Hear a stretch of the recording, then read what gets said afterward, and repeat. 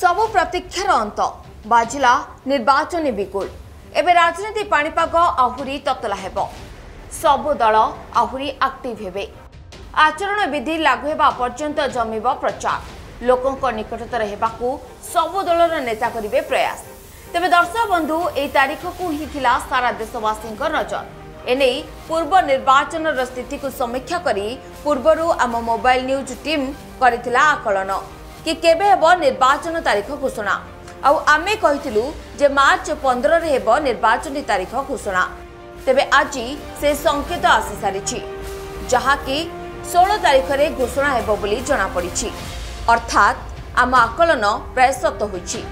ଦେଖନ୍ତୁ ଆମେ କ'ଣ ପ୍ରସାରଣ କରିଥିଲୁ।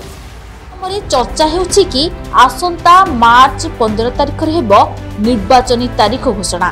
କାରଣ ମାର୍ଚ୍ଚ ବାରରେ ମୁଖ୍ୟ ନିର୍ବାଚନ କମିଶନର ରାଜୀବ କୁମାରଙ୍କ ସରିବ ଜାମ୍ମୁ କାଶ୍ମୀର ଗସ୍ତ। ସେଦିନ ମଙ୍ଗଳବାର ଏବଂ ତାପରେ ପନ୍ଦର ତାରିଖ ଶୁକ୍ରବାରକୁ କମିଶନର ଘୋଷଣା କରିପାରନ୍ତି ନିର୍ବାଚନ ତାରିଖ। ସେଭଳି କଥାକୁ ବିଚାର କଲେ ପ୍ରଥମ ପର୍ଯ୍ୟାୟ ଭୋଟ ଆସନ୍ତା ଏପ୍ରିଲ ଷୋହଳ ତାରିଖ ମଙ୍ଗଳବାର ହୋଇପାରେ।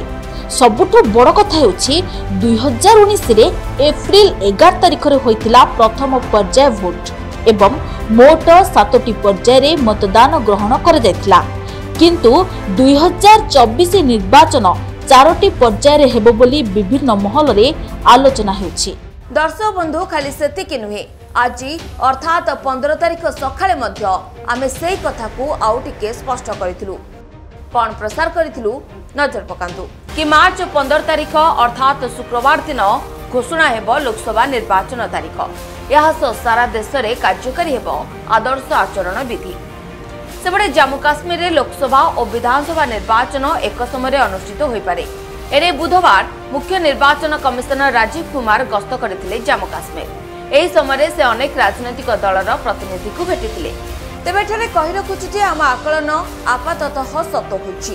ତେଣୁ ଆସନ୍ତାକାଲି ଅର୍ଥାତ୍ ଶନିବାର ତିନିଟାରେ ସାମ୍ବାଦିକ ସମ୍ମିଳନୀରେ ଘୋଷଣା ହେବ ନିର୍ବାଚନୀ ତାରିଖ। Bureau report mobile news twenty four into seven.